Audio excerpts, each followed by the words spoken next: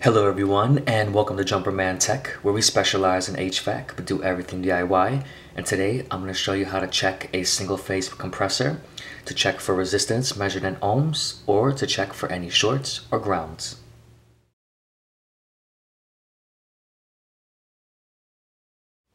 Thank you to everyone tuning into Jumperman Tech. We're going to begin today's lesson by checking this single phase compressor for resistance and resistance is measured in ohms. Here is a close-up look at our compressor terminals and this is where we would be checking for resistance. Before we can begin checking for resistance, it's important to understand what we're actually checking and what we're looking for. So therefore, I'm going to start this demonstration on a piece of paper so it's clearer to understand. Just a quick note, while performing any of these tests, make sure that your power is off, safety first, and even though the wires are disconnected off the terminals, just remember, make sure that power is off. Before we can check this compressor physically, let's go over some theory. So here, those three circles represent our three terminals on the compressor. We have a common terminal, a start terminal, and a run terminal. We're going to take our multimeter and set it to resistance, which is measured in ohms. From there, we can check any two terminals out of the three at a time. So let's start with these two. We're going to put one terminal on common and one terminal on start. Let's say we got a resistance of 3 ohms. After the 3, that is the symbol for ohms. That's cool. Moving on. Next, we can check our next two, and let's say we check across our common and run terminal. Let's say our meter read 2 ohms. Alright, we're going to move on, and then we're going to check our last two pairs, which is between start and run. When we checked across start and run, we got a resistance of 5 ohms. In this exact situation, this would be a perfect scenario. What I love about science is that the theory always remains. So as we can see, between common and run, we have 2 ohms, and that's always going to be your lowest resistance reading. Next, between common and start, we have 3 ohms and that's going to be your next highest resistance reading. If we look across start and run, we have 5 ohms and that is always going to be your highest of all three resistance readings. So the question is, what are we even reading here and how do we know this is actually good? So the idea here is that you're reading between common and start and your reading between common and run added up is always going to add to the resistance between start and run. So between common and start, we have 3 ohms. Common and run, we have 2 ohms.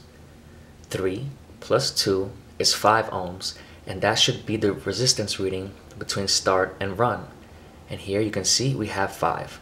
In this case, this is a good compressor and the windings are good. So that's what we're looking for.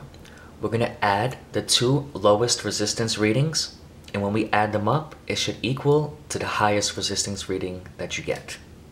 That's how you properly check. With that being said, we can lace up our boots and get in the field to check a real single phase compressor. Today I'm using the Fluke 902FC HVAC clamp meter. We're going to set our meter to ohms. If so far you are finding this video interesting or helpful, please drop a like, comment, and subscribe as I come out with new videos every week, and let's continue. Now we are set to resistance, which is measured in ohms, and that is this symbol right here. At the same time, my meter reads continuity, which gives you an audible sound, and that is this symbol right here. Alright, so we're going to start with our top terminal here, which is the common, and then our right terminal, which is our run. We have 1.2, 1.3 ohms. Okay, next we can continue and check across the common and start. So here's our common. Oops, let's turn that light back on. And our start. So we have 6, 6.1 ohms. Okay? And to determine if this compressor is good, between these two terminals, which is the start and run, which once again I told you is going to be the highest of the readings, we should be getting around 7 ohms.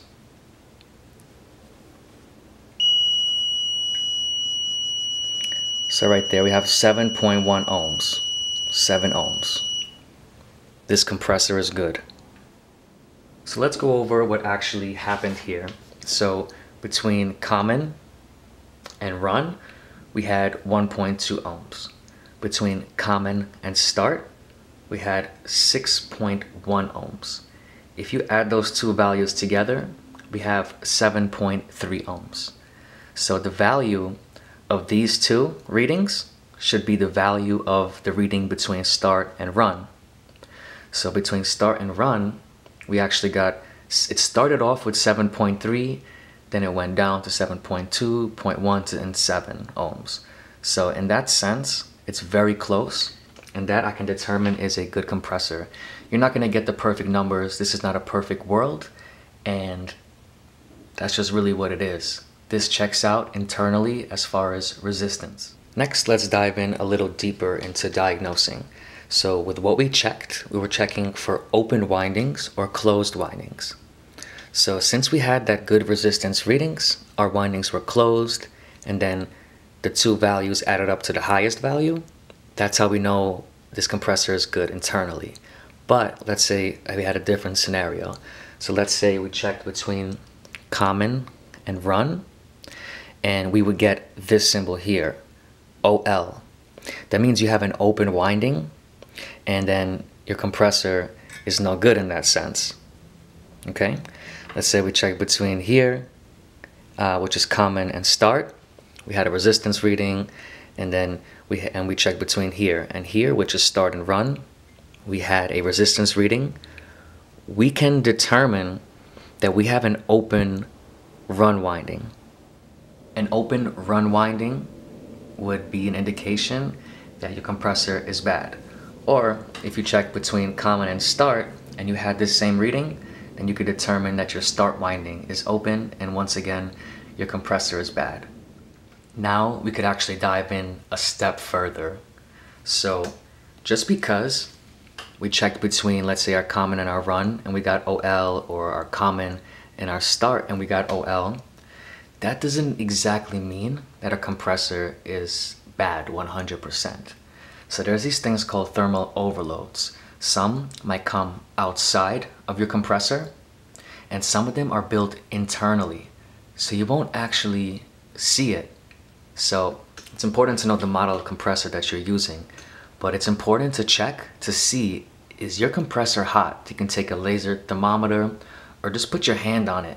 If that compressor is super hot to the touch and you're getting open line readings, you might want that to cool off before you fully give the customer the answer if the compressor is fully bad because once that compressor cools down, then you're going to get your resistance reading between common and run or common and start.